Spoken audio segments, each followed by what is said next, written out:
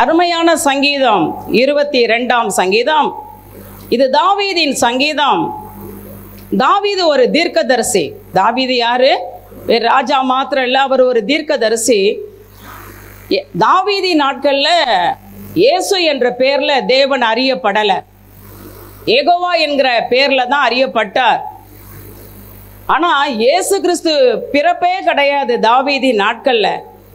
ஆனா தாவீது எதை குறித்து எழுதியிருக்கிறாரு?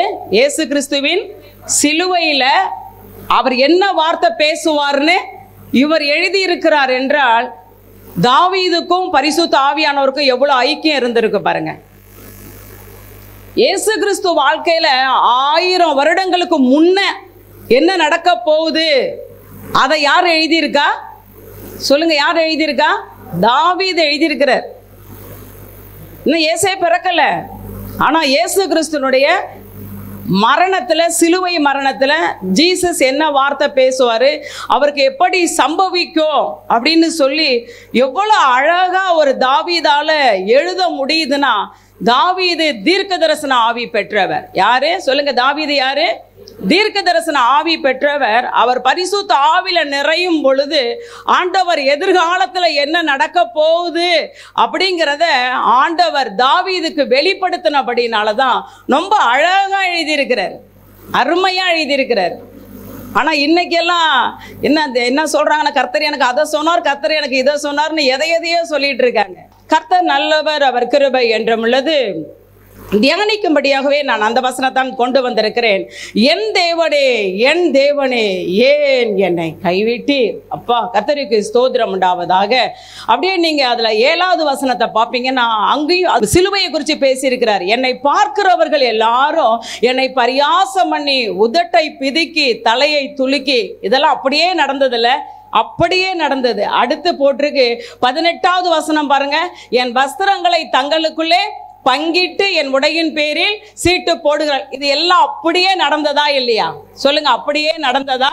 இல்லையா? ஹலே லூயா தாவீதுக்கு அடுத்து ஆயிரம் வருடத்துக்கு பின்னாடி என்ன நடக்கும்? ஜீசஸுடைய பிறப்புக்கு முன்னாடி ஜீசஸ் என்ன பிறக்கவே இல்லை. ஆயிரம் வருடங்களுக்கு முன்னாடியே என்ன நடக்கும் என்பதை தாவீது தீர்க்க தரிசனமாக எழுதி வைத்த சங்கீதம் தான் சங்கீதம் இருபத்தி இரண்டு.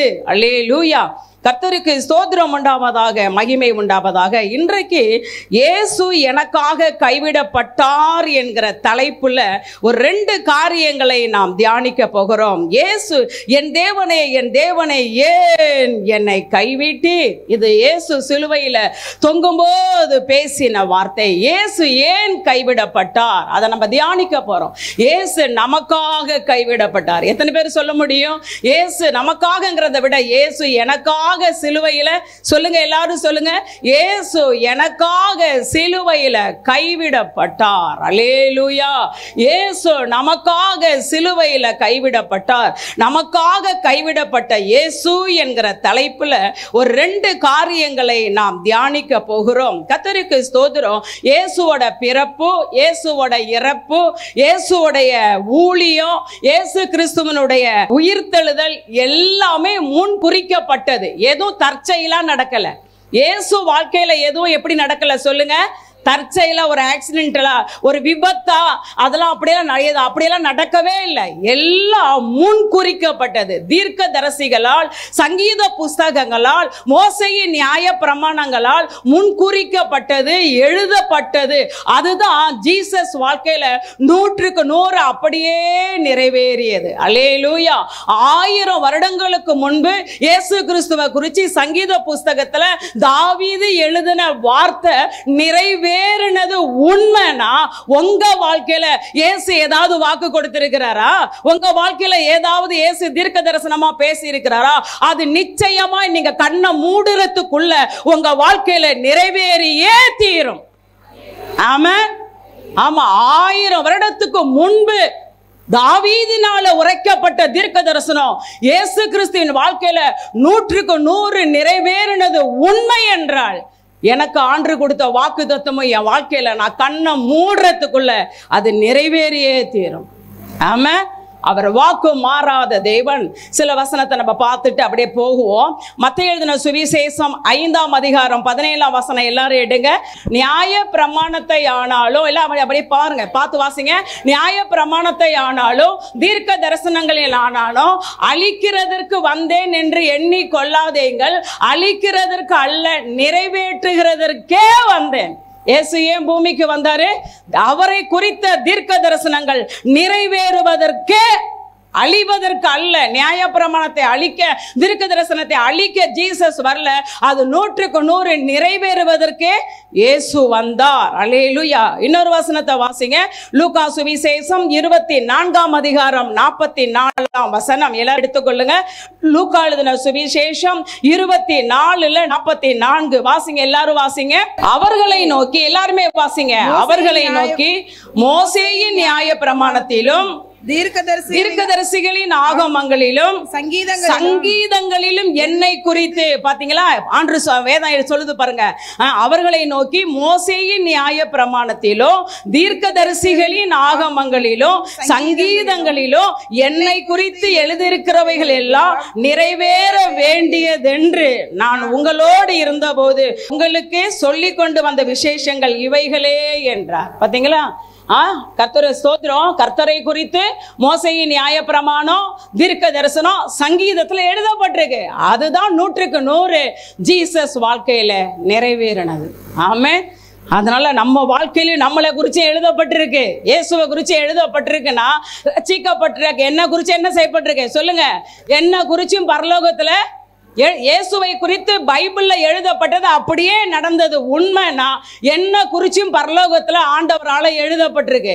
இந்த அக்னி கிறிஸ்துவ தேவ சபையை குறித்தும் அதன் ஊழியங்களை குறித்தும் அதன் ஊழியக்காரர்களை குறித்தும் எல்லாம் ஹெவன்ல எழுதப்பட்டிருக்கு. இந்த அக்னி கிறிஸ்துவ தேவ சபை இந்தந்த காரியத்தை செய்யணும் இந்தந்த ஊழியத்தை செய்யணும் இவ்வளோ நாட்கள் அவங்க பூமியில இருப்பாங்க இந்தந்த எல்லைக்கு போவாங்க இந்தந்த இந்தந்த பரிமாணத்துக்குள்ள போவாங்க எனக்காக இதை இதையெல்லாம் செய்வாங்கன்னு நம்மளை குறிச்சு பரலோகத்துல எழுதப்பட்டிருக்கு. அது நிச்சயமாய் நம்ம கண்ணு மூடுவதற்குள் நிறைவேறியே தீரும். ஆமே இதை நம்புறீங்களா? நம்புறவங்க ஆமின்னு சொல்லுங்க. ஆமேன். ஹalleluya. கர்த்தருக்கு ஸ்தோத்திரம் உண்டாவதாக. இன்னொரு வசனத்தை நம்ம வாசிக்கலாமா? ஒன்று கொரிந்தியர் பதினைந்துல மூன்று நான்கு வாசிங்க. எல்லாரும் எடுங்க. நான். அடைந்ததும் நான் அடைந்ததும். உங்களுக்கு பிரதானமாக ஒப்புவித்ததும் என்னவென்றால் கிறிஸ்துவானவர் வேத வாக்கியத்தின்படி கிறிஸ்துவானவர் வேத வாக்கியங்களின்படியே நமது நமது பாவங்களுக்காக மறித்து அடக்கம் பண்ணப்பட்டு அடக்கம் பண்ணப்பட்டு வேத வாக்கியங்கள் வேத வாக்கியங்களின்படியே மூன்றாம் நாள் உயிரோடு எழுந்தார். சொல்லுங்க வேத வாக்கியத்தின்படி தான் இயேசு நம்ம பாவத்துக்காக சிலுவைக்கு போனாரு. வேத வாக்கியங்களின்படி தான் அடக்கம் பண்ணப்பட்டாரு.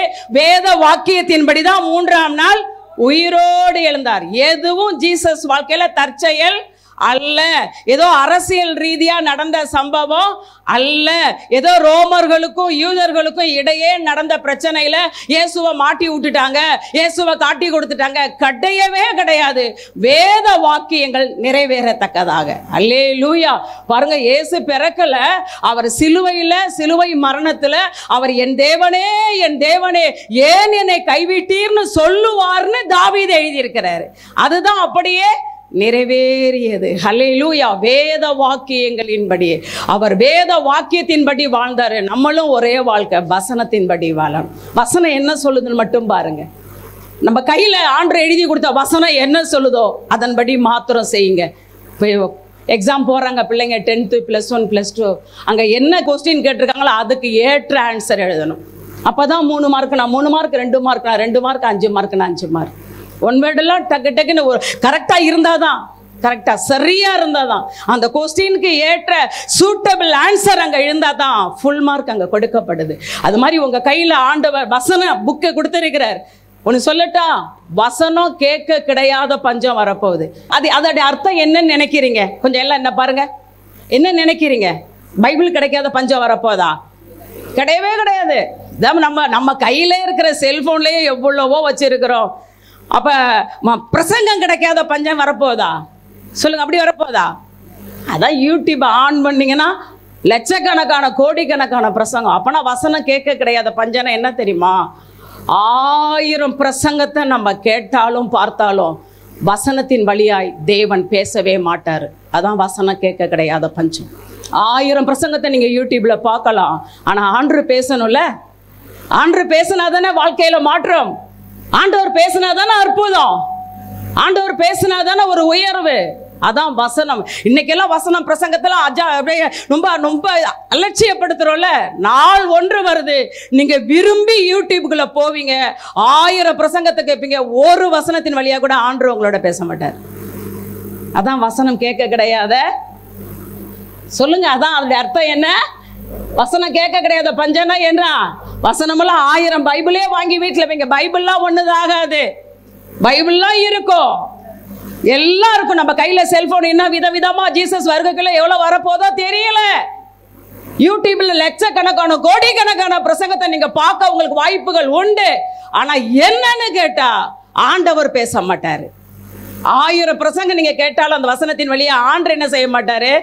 அதுதான் வசனம் கேட்க கிடையாத அதை குறித்து தான் எழுதுறாரு. வசனம் கேட்க கிடையாத நாட்கள்ல கீழே விழுந்தவன் திரும்ப எழுந்திருக்கவே மாட்டானா? ஏன்னா ஆண்டு பேசினா தானே எழும்ப முடியும். கீழே விழுந்துட்டோம் மீன்ஸ் ஒரு பிரச்சனையில விழுந்துட்டோம் ஒரு போராட்டத்துல விழுந்துட்டோம். எழுந்திருக்க முடியல. ஆண்டவர் வசனத்தின் வழியாய் பேசினாதான் நம்ம என்ன செய்ய முடியும்? அதுல இருந்து கீழே விழுந்தா எழுந்திருக்க முடியும். அப்ப ஆண்டவர் வசனத்தின் வழியாய் நம்மளோட பேசலனா கீழே விழுந்தா விழுந்தது தான் நம்மளை தூக்கி விட ஒரு நபரும் கிடையாது.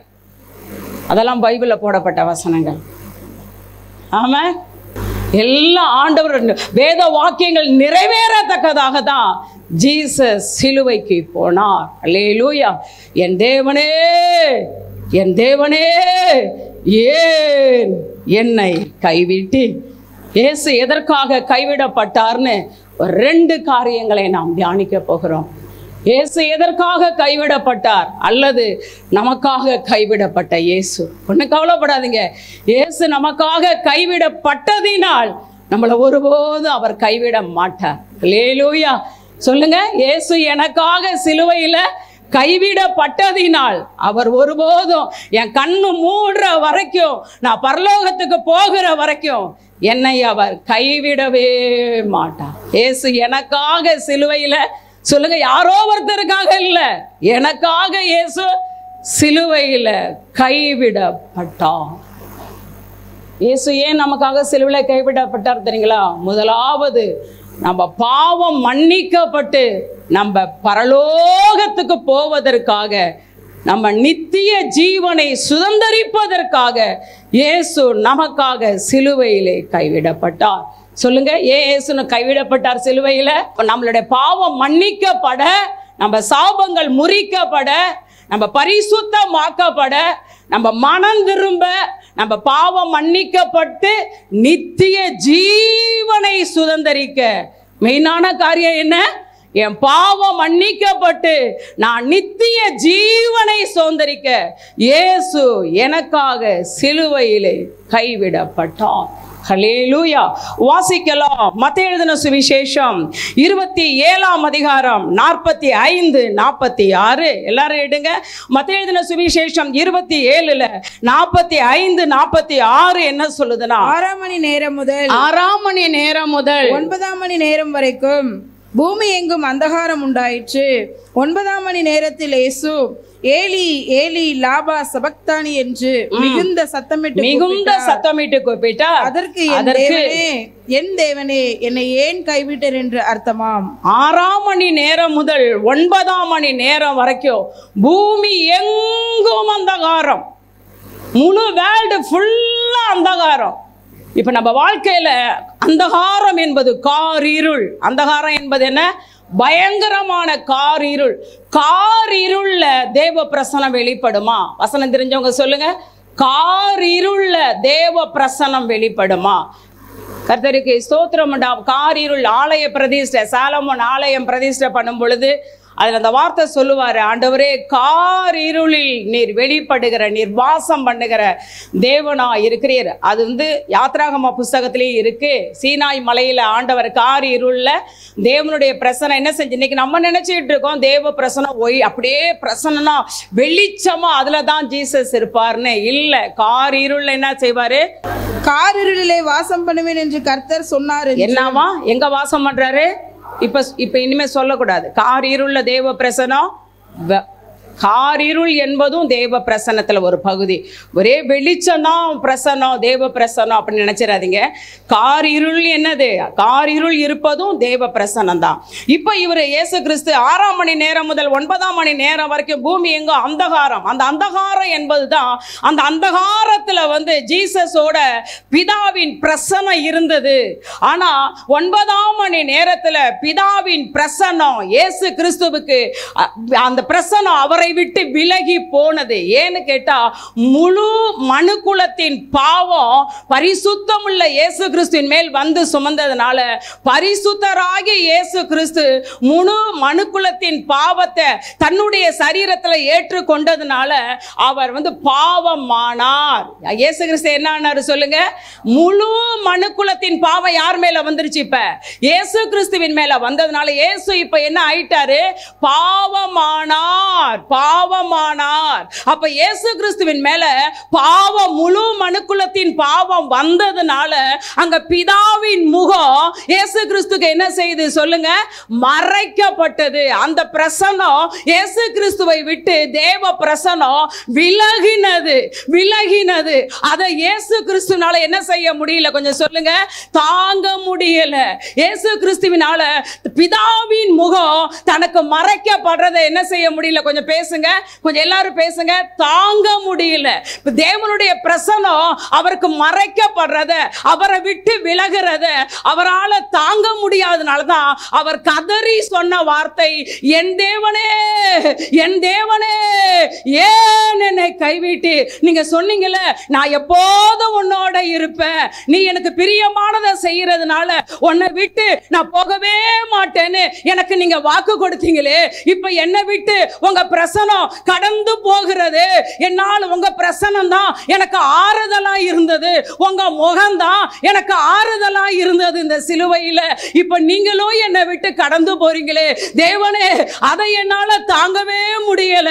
ஆகையால் அவர் சத்தமிட்டு கதறி சொன்ன வார்த்தை என்னன்னா என் தேவனே என் தேவனே ஏன் என்னை கைவிட்டு இயேசு கிறிஸ்துடைய சரீரத்தை முப்பத்தி ஒன்பது அடிகளால் அடி அடின்னு அடிச்சு முழு முதுகும் அப்படியே காயத்தால் நிறைந்து ரத்த கணமா அப்படியே ரத்த கணமா அப்படி இருக்குது. ஆனால் ஆண்டவர் அவர் வந்து ஐயோ என் முதுகில் முப்பத்தி ஒன்பது தடவை அடைச்சிட்டாங்களே என்னால் இதை தாங்க முடியல ஏன் என்னை கைவிட்டீர்னு ஏசு கேட்கல? என் தலையில் பெரிய முள்முடியை வச்சு கோலால் அடிச்சு அசைய முடியாம ஐயோ என் தலையெல்லாம் காயம் என் தலையெல்லாம் ரத்தம் வலியுது பிதாவே ஏன் என்னை கைவிட்டீர்னு? இயேசு பிதாவை பார்த்து கேட்கல. இங்க பாருங்க என் கையை நீட்டி இதுல ஒரு பெரிய ஆணி அடிச்சு இங்க பாருங்க என் ரத்தத்துல என் கையிலிருந்து ரத்தம் இவ்வளோ கொட்டுது. இந்த கையிலிருந்து இவ்வளோ கொட்டுது. என் கால்கள் எல்லாம் ஆணியினால அடிச்சு இங்க பாருங்க காலில் தாங்க முடியலையே. நான் சிலுவையில் தொங்குறேனே ஆறு மணி நேரமா தொங்குறேனே. ஏன் என்னை கைவிட்டி சரீர வேதனையினால இயேசு கிறிஸ்து பிதாவாகிய தேவனை பார்த்து ஏன் என்னை கைவிட்டீர்னு? கேட்டாரா கேட்கலையா? கேட்கல. அவர் சொல்றார் இதெல்லாம் என்னால தாங்க முடிந்தது. இதெல்லாம் தாங்க முடிந்தது. என் ஜனத்துக்காக இந்த முள்முடியை தாங்க முடிந்தது. உடம்பே உச்சந்தலையிலிருந்து உள்ளங்கால் வரைக்கும் அப்படியே காயங்கள் ரத்தம் கொட்டுது. எல்லாம் என்னால் தாங்க முடிஞ்சது. ஆனால் உங்கள் பிரசனம் என்னை விட்டு விலகிறத என்னால் தாங்க முடியல ஆண்டவரே. உங்க பிரசனம் தான் இந்த சரீரம் இந்த அளவுக்கு வேதனை அடைஞ்சாலும் உங்க பிரசனம் தான் எனக்கு ஆறுதலா இருந்தது. இப்ப எனக்கு ஆறுதலா இருந்த இந்த பிரசனமும் என்னை விட்டு விலகுதே ஆண்டவரே. என்னால தாங்க முடியலன்னு என் தேவனே என் தேவனே. ஏன் என்னை கைவிட்டு?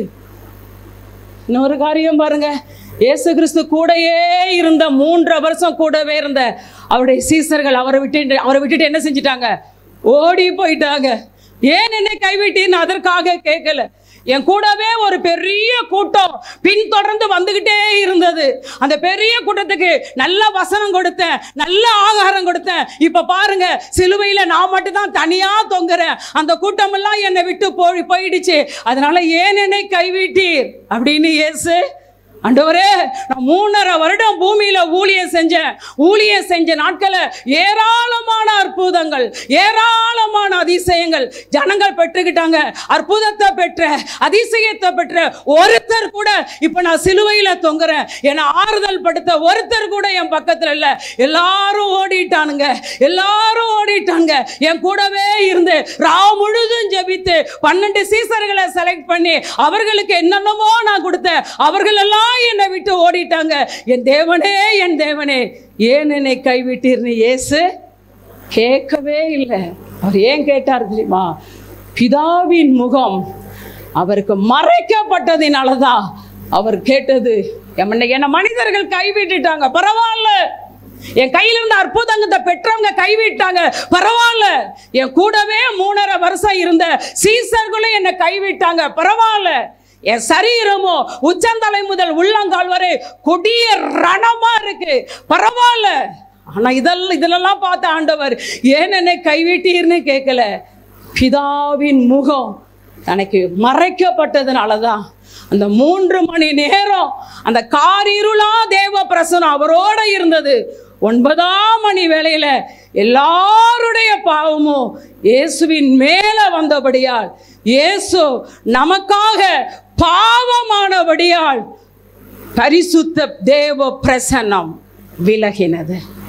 ஏன்னா பாவமும் தேவ பிரசனமும் ஒரு இடத்துல இருக்க முடியாது. தேவன் மகா பரிசுத்தர்.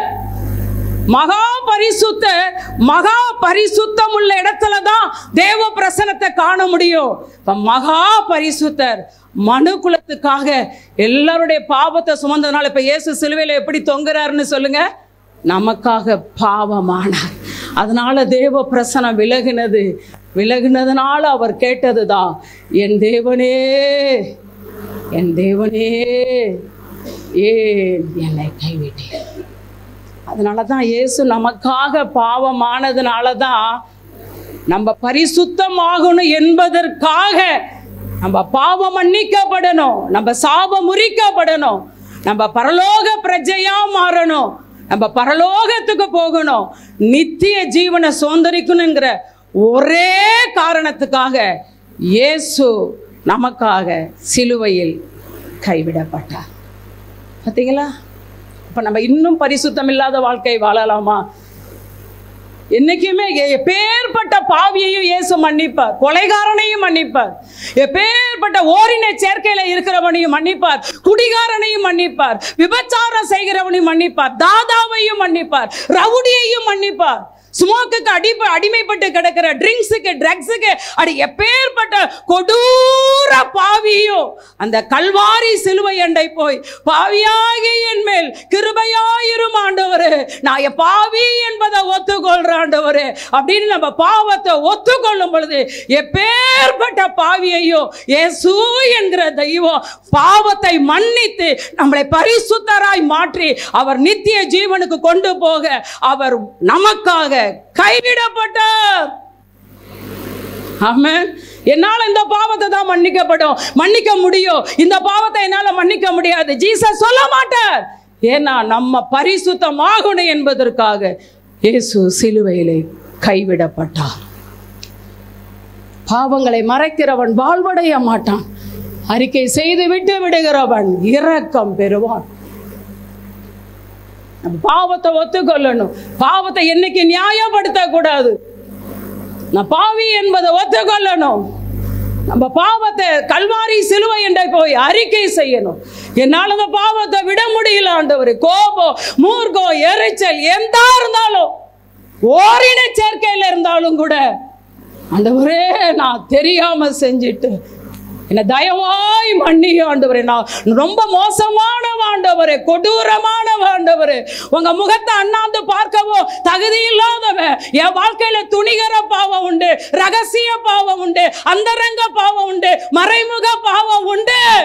என்னை மன்னிச்சிருங்க ப்ளீஸ் என்னை மன்னிச்சிருங்கன்னு நம்ம கேட்கும்போது மனதார நம்ம பாவத்தை நூற்றுக்கு நூறு மன்னிக்க தான் நம்மளை பாவியாகிய நம்மளை பரிசுத்தவானாக நீதிமானாக மாற்றதான் இயேசு நமக்காக சிலுவையில் கைவிடப்பட்டார். ஹலேலூயா ஹலேலூயா கர்த்தருக்கு ஸ்தோத்திரம் உண்டாவதாக மகிமை உண்டாவதாக ஸ்தோத்திரம். வேதத்தில் கூட ஒரு விபச்சார பெண்ணை கையும் மெய்யுமா பிடிச்சி இயேசுகிட்ட கொண்டுட்டு வருவாங்க. அப்பதான் அவர் கேட்பார் கல்லெறிஞ்சு கொல்லணும்னு கொண்டு வருவாங்க. அப்பதான் அவர் கேட்பார் உங்களில் பாவம் இல்லாதவன் முதல் கல்லை போடு. இப்போ எல்லாரும் என்ன செஞ்சிருவாங்க? ஓடிடுவாங்க இந்த பெண்ணு மட்டும் தனியா நிப்பா. அவளை பார்த்து ஏசு என்ன கேட்டார் தெரியுமா? யாரும் உன்னை உன் மேல கல்லு போட ஆள் இல்லையோ? உன்னை குற்றம் சாட்ட யாரும் இல்லையோ? அந்த வசனத்தை நம்ம பார்ப்போம் என்றால் கர்த்தருக்கு ஸ்தோத்திரம் உண்டாவதாக யோவான் எட்டாம் அதிகாரம் பத்து பதினொன்று வசனம். இயேசு நிமிர்ந்த அந்த ஸ்திரியை தவிர வேறு ஒருவரையும் காணாமல் ஸ்திரியே உண்மையில் குற்றம் சாட்டினவர்கள் எங்கே? ஒருவனாகிலும் உன்னை ஆக்கினைக்குள்ளாக தீர்க்கவில்லையா? என்றார். அதற்கு அவள் இல்லை என்றாள். இல்லை ஆண்டவரே என்றாள். இயேசு அவளை பார்த்து சொன்னார் நானும் உன்னை ஆக்கினைக்குள்ளாக தீர்க்கிறதில்லை. நீ போ. இனி பாவம் செய்யாது. இயேசு சொன்ன வார்த்தை என்ன தெரியுமா? இனி பாவம் செய்யாது. இன்னைக்கு ஆண்டவரை தான் சொல்கிற நீ பேர்பட்ட பாவியாக இருந்தாலும் உன்னை உன் பாவத்தை மன்னிச்சு உன்னை பரலோகத்துக்கு கொண்டு போக தான் பிதாவின் முகம் எனக்கு மறைக்கப்பட்டு நான் சிலுவையில் கைவிடப்பட்டேன். ஆகையால் நீ போ இனி பாவம் செய்யாது. இன்னைக்கு நம்மளையும் பார்த்து ஆண்டு என்ன சொல்கிற நீ போ இனி அதே யோவான் ஐந்தாம் அதிகாரத்தில் முப்பத்தெட்டு வருஷமா பெதஸ்தா குளத்தில் வியாதியோட இருந்தான். ஒரு நாள் இயேசு அவனை தேடி சென்று உன் படுக்கை எடுத்துக்கொண்டு நடனார். உடனே அவன் நடந்தான். சில நாட்களுக்கு பிறகு இயேசு அவனை அந்த முப்பத்தெட்டு வருட வியாதியஸ்தனை சர்ச்சில் பார்த்தார். சர்ச்சில் பார்த்து சொன்ன வார்த்தை என்ன தெரியுமா? யோவான் ஐந்து பதினாலு. அதற்கு பின்பு இயேசு அவனை தேவாலயத்திலே பார்த்து இதோ நீ சொஸ்தமானாய். அதிக கேடானதொன்றும் உனக்கு வராதபடி இனி பாவம் செய்ய. அன்று இன்னைக்கு அதான் சொல்றார் உனக்காக நான் சிலுவையில் கைவிடப்பட்டேன். உன் பாவத்துக்காக தான் உன் பாவத்துக்காக தான் பிதாவின் பிரசனை எனக்கு விலகினது. அவர் முகம் மறைக்கப்பட்டது. நான் கைவிடப்பட்டேன். நான் கைவிடப்பட்டதுனால என் ரத்தம் உனக்காக பரிந்து பேசுது. சாத்தான் நம்மளவே குற்றம் சொல்றான் பத்தியா? சர்ச்சி சர்ச்சின்னு போறான். வாரந்தோறும் போறான். பைபிளை தூக்கிட்டு தான் போறான். அபிஷேகம்லாம் பண்ணி அந்நிய பாசையெல்லாம் பேசுறான். அவன் பண்ற லூட்டியை பத்தியா? அங்க பாரு லஞ்சம் வாங்குறான் பாரு. இங்க பாரு ஜாதியை பத்தி பேசுறான் பாரு. இங்க பாரு குறை சொல்றான் பாரு. இங்க பாரு கோல் கூறுறான் பாரு. உன் புள்ள உன் புள்ளங்கிறிய. அவன் செய்யற பாவத்தை பாரு. அவன் செய்யற அநியாயத்தை பாரு. அவன் செய்யற அக்கிரமத்தை பாரு. அவன் செய்த மீறுதலை பாருன்னு பிசாசானவன் நம்மளை குறித்து இரவும் பகலோ மேலே குற்றம் சாட்டிகிட்டே இருக்கான். ஆனால் ஏசு என்ன சொல்கிறார் திரும்ப பிதாட்ட? இவனுக்காக தானே நீங்கள் என்னை கைவிட்டீங்க? இவன் பாவத்தை பண்ணிக்க தானே இவன் பா இவனுடைய பாவம் என் மேலே வந்ததுனால தானே நீங்கள் என்ன கைவிட்டீங்க. இவனுக்காக நான் கைவிடப்பட்டிருக்கேன். இவன் இவனுடைய பாவம் மன்னிக்கப்பட. இவனுடைய பாவம் மன்னிக்கப்பட. இவன் நீதிமானா மாற. இவன் பரிசுத்தவானா மாற. இவளும் என்னோட கூட பரலோகத்துக்கு வர. இவளும் என்னோட கூட என்னுடைய சிங்காசனத்தில் அமர. இவளுக்காக இவனுக்காக நான் பரல கைவிடப்பட்டிருக்கிறேன். ரத்தம் சிந்திச்சிரு சிந்திருக்கிறேன். அதனால அதை நினைத்து இதை மன்னிச்சிருங்க. அதை நினைத்து அதை நினைத்து நம்ம குற்ற மனசாட்சியோட வாழணுங்கிற அவசியமே கிடையாது. நம்ம குற்றம் ஐயோ அந்த பாவம் செஞ்சுட்டேனே ஏசு என்ன மன்னிப்பாரா? ஐயோ நான் ஏசுக்கு துரோகம் பண்ணிட்டேனே ஏசு என்ன மன்னிப்பாரா? ஐயோ இவ்வளோ பெரிய துணிகர பாவம் செஞ்சுட்டேனே ஏசு என்ன மன்னிப்பாரா? நம்ம குற்ற மனசாட்சி நம்மளை வாதிக்குங்கிற அவசியமே இல்லை. நம்ம பாவம் மன்னிக்கப்பட நம்ம பரிசுத்தவானா மாற நம்ம பரலோக ராஜ்யத்துக்கு போகதான் ஏசு நமக்காக சிலுவையிலே நம்மளை பரலோகத்து போக விடாம தடுக்கிறது எது சொல்லுங்க? நம்ம செய்யற பாவம் தான் அப்படியே சொல்லுங்க. ஆண்டு சுவாமிகிட்ட பார்த்து சொல்றது நீ போய் நீ பாவம் செய்ய சகையு பாயும் பாவியான மனுஷன். அவன் ஏசு எப்படிப்பட்டவர்னு பார்க்க ஆசையா வந்தான். அந்த இடத்துல இயேசு அவனை பார்த்து சொன்னார் சகையு சீக்கிரம் இறங்கி வா. இன்னைக்கு நான் உன் வீட்டில் தங்கணும். உடனே ஜனங்கள் எல்லாரும் என்ன சொன்னாங்களாம்? தெரிஞ்சா சொல்லுங்க. ஜனங்கள் எல்லாரும் என்ன சொன்னாங்க? பாவியான சகையு. சகைவுக்கு ஜனங்கள் வச்ச பேர் என்ன? பாவியான மனுஷன். இந்த பாவியான மனுஷன் வீட்டுக்கு ஏசு போறாரே அப்படின்னு ஜனங்கள் எல்லாரும் சொன்னாங்க. ஏசு அதெல்லாம் காதல வாங்கல. சகைவை அழைச்சிட்டு போறார்.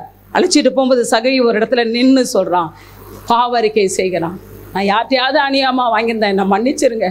நான் திரும்ப கொடுத்துட்றேன் ஆண்டவர். நான் திரும்ப கொடுத்துட்றேன் ஆண்டவரே. பாவ அறிக்கை பாவரிக்கை. நாளா தலையா திரும்ப கொடுத்துட்ற ஆண்டவரே. அப்படின்னு பாவரிக்கை செஞ்ச ஆண்டு சொன்னார். சகை இன்றைக்கு நான் உன் வீட்டில் தங்கணும். இன்றைக்கு உனக்கு ரட்சிப்பு வந்தது. நீயும் ஆபிரகாமனுடைய உங்களுக்காக இயேசு ரத்தம் சிந்துதல் இல்லாமல் பாவ மன்னிப்பு கிடையாது. அதற்காக நமக்காக இயேசு சிலுவையில பலியாயிருக்கிறார். கைவிடப்பட்டிருக்கிறார். அதனால் ஒருத்தருடைய ம மனசாட்சியும் குற்ற மனசாட்சியும் இருக்க வேண்டிய அவசியமே இல்லை. ஒன்றே ஒன்று பாவத்தை நியாயப்படுத்தாதீங்க. பாவத்தை அறிக்கை செய்யுங்க. நான் பாவியான மனுஷன் அப்பா. என்னை ப்ளீஸ் என்னை மன்னிச்சிருங்க. மன்னிச்சிட்டு ஆண்டவரை என்னை பரலோக பிரஜையாய் மாற்றுங்க. என்னுடைய ம என்னுடைய மரணம் அல்லது உங்கள் வருகையில் நான் பரலோகத்தில் வந்து உங்களை பார்க்க எனக்கு கிருபை கொடுங்கன்னு மன மனப்பூர்வமாக ஒரு சின்ன ஜவம் பண்ணுங்க. நமக்காக தான் இயேசு சிலுவையிலே கைவிடப்பட்டார். ரெண்டாவது எதற்காக இயேசு கல்வி கைவிடப்பட்டார்னா நம்மளுடைய கைவிடப்பட்ட சூழ்நிலையில் நமக்கு உதவி செய்ய இயேசு நமக்காக கைவிடப்பட்டார். ரெண்டாவது இயேசு எதற்காக சிலுவையில் கைவிடப்பட்டார் சொல்லுங்க? நம்மளுடைய கைவிடப்பட்ட சூழ்நிலையில நமக்கு உதவி செய்ய இயேசு கைவிடப்பட்டார். சில நேரத்தில் நம்ம கைவிடப்பட்டுறோம்ல வாசிங்க ஒரு வசனத்தை. ஏசாயா தீர்க்க தரிசன புஸ்தகம் நாற்பத்தி ஒன்பதாம் அதிகாரம் பதினான்காம் வசனம். ஏசாயா நாற்பத்தி ஒன்பது பதினாலு வாசிங்க. என்ன சொல்றோமா கர்த்தருடைய ஜனமாகிய சீயோன் என்ன சொல்லுதா? சீயோனோ சியோனோ? சியோனா யாரு? கர்த்தருடைய ஜனம். சியோனோ கர்த்தர் என்னை கைவிட்டார். ஆண்டவர் என்னை மறந்தார் என்று சொல்லுகிறார். இது ஆண்டவரால தாங்கவே முடியலையா? கர்த்தருடைய ஜனமாகிய நம்ம ஆண்டவரை பார்த்து ஆண்டவர் என்னை கைவிட்டுட்டாரு. ஆண்டவர் என்னை மறந்துட்டாரு. அப்படின்னு நம்ம சொல்ற வார்த்தைய தேவனால் என்ன செய்ய முடியலையா? ஏ தேவனால் அந்த வார்த்தை தாங்கவே முடியலையா? அன்று சொன்னார் இல்லம்மா என் ஜனமாகிய நீ கைவிடப்பட்டு போய்விடக் கூடாது என்பதற்காக உனக்காக நான் சிலுவையிலே கைவிடப்பட்டிருக்கேன். கைவிடப்பட்டவருடைய வேதனை என்னன்னு இயேசுவுக்கு நல்லா தெரியும். அதற்காக தான் அவர் அந்த அந்த பாதையின் வழியாய் கடந்து போனார். பெற்றோரால் பிள்ளைகள் கைவிடப்படும் போது பிள்ளைகளால் பெற்றோர் கைவிடப்படும் போது நம்ம நேசித்தவர்களால் நம்ம கைவிடப்படும் போது நம்மளை நேசித்தவர்கள் நம்மளை கைவிடும் போது சில நேரத்தில் மருத்துவர்களால் நம்ம கைவிடப்படும் போது கணவனால் மனைவி கைவிடப்படும் போது மனைவியினால் கணவன் கைவிடப்படும் போது விசுவாசிகளால் சபை கைவிடப்படும் போது அது தாங்கவே முடியாது. கைவிடப்படுதல் என்பது தாங்க முடியுமா? சொல்லுங்க. இல்லை எங்க பாருங்க. இத்தனை பேர் இந்த கைவிடப்பட்ட சூழ்நிலையை கடந்து வந்திருக்கிறோம். ஆண்டவரே மனுஷன்தான் என்னை கைவிட்டுட்டான். நீங்களுமா என்னை கைவிட்டுட்டீங்க ஆண்டவரே? உங்களை தானே நான் நம்பி இருந்தேன். இயேசு இயேசுன்னு உங்களை நம்பி இருந்தேனே. வாரந்தோறும் ஆலயத்துக்கு வந்தேனே. நீங்களுமோ ஆண்டவர் என்னை கைவிட்டுட்டீங்க. அப்படிங்கிற சூழ்நிலை நம்ம வாழ்க்கையில் வரக்கூடாது என்பதற்காக தான் கைவிடப்பட்ட சூழ்நிலையில் நமக்கு உதவி செய்ய வேண்டும் என்பதற்காக தான் இயேசு சிலுவையிலே கைவிடப்பட்டார். சொல்லுங்கள் நான் கைவிடப்பட்டு போய்விடக் கூடாது என்பதற்காக. நான் கைவிடப்பட்டு நிற்கும் போது எனக்கு உதவி செய்ய வேண்டும் என்பதற்காக. சொல்லுங்க. இயேசு கைவிடப்பட்டார். இயேசு நம்மளை ஒருபோதும் கைவிட மாட்டார். நான் உன்னை விட்டு விலகுவதும் இல்லை. உன்னை எப்ராயுமே உன்னை நான் எப்படி கைவிடுவேன்? உனக்காக நான் சிலுவையில் கைவிடப்பட்டிருக்கேன். உனக்காக நான் சிலுவையில ரத்தம் சிந்தி இருக்கிறேன் கடைசி சொட்டு ரத்தம் வரைக்கும் உனக்காக நான் சிந்தி இருக்கிறேன் உனக்கு உதவி செய்ய உன் தேவையை சந்திக்க உன் கண்ணீரை துடைக்க உன்னை ஆசீர்வதிக்க உனக்கு நன்மை செய்ய உன்னை தூக்கி எடுக்க உன் காயத்தை ஆற்ற உன்னை தேற்ற உனக்காக நான் சிலுவையில கைவிடப்பட்டபடியால் ஆண்டவர் என்னை கைவிட்டுட்டார்னு தயவு செய்து சொல்ல வேண்டாம் என்று தேவன் சொல்லுகிறார். இன்னைக்கு கைவிடப்பட்ட சூழ்நிலையில வந்திருக்கிறீங்களோ? கைவிடப்பட்ட நிலையில நமக்கு உதவி செய்ய. இயேசு கைவிடப்பட்டதுனால கைவிடப்படும் போது நம்ம அடைஞ்சு அடைகிற அந்த வேதனையை தேவன் அறிந்திருக்கிறார். நமக்காக இயேசு கைவிடப்பட்டதுனால டாக்டர்கள் கைவிடப்பட்ட நேரத்தில் அங்கலாய்ச்சி நிற்போம். டாக்டர்கிட்ட போய் கெஞ்சுவோம். ப்ளீஸ் ப்ளீஸ் ப்ளீஸ் டாக்டர்கிட்ட கெஞ்சுவோம். கைவிடப்பட்ட நிலையில் நமக்கு உதவி செய்ய இயேசு நமக்காக கைவிடப்பட்டா. நகோமி வேதத்தில் கைவிடப்பட்டா. தப்பு பண்ணிட்டா. ஆண்டவரை விட்டு தூரம் போயிட்டா. கணவனை இழந்து பிள்ளைகளை இழந்து ஒரே வீட்டில் மூன்று விதவைகளாக தேவனால் கைவிடப்பட்ட சூழ்நிலையில் சர்வ வல்லவர் எனக்கு மிகுந்த கசப்பை கட்டளையிட்டார். இன்னைக்கு யாராவது மிகுந்த கசப்போடு வந்திருக்கிறீங்களா மிகுந்த கசப்போடு ஏதோ ஒரு வியாதி கொடிய கடன் பிரச்சனை மன அழுத்தம் பிள்ளையை குறித்த பாரம். குடும்பத்தை குறித்து பாரம் எதிர்காலத்தை குறித்து பாரத்தோட வந்திருக்கிறீங்களா?